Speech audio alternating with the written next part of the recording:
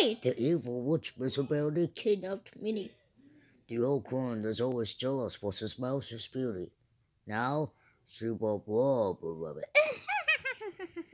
From Nicky, you never fishy what happened to this gone. He she path to right.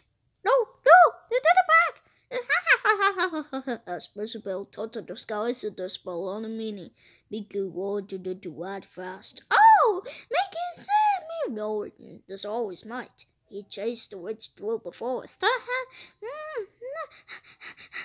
because Skirbo was scurried all the way to the castle of illusion.